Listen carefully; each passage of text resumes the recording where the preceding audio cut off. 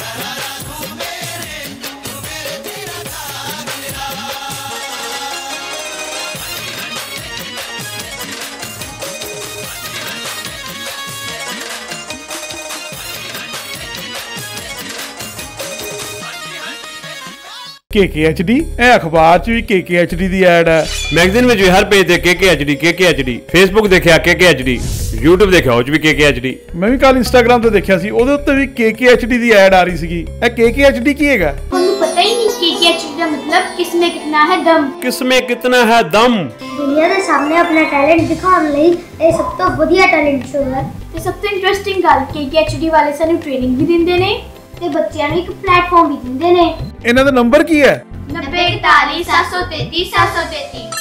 90 41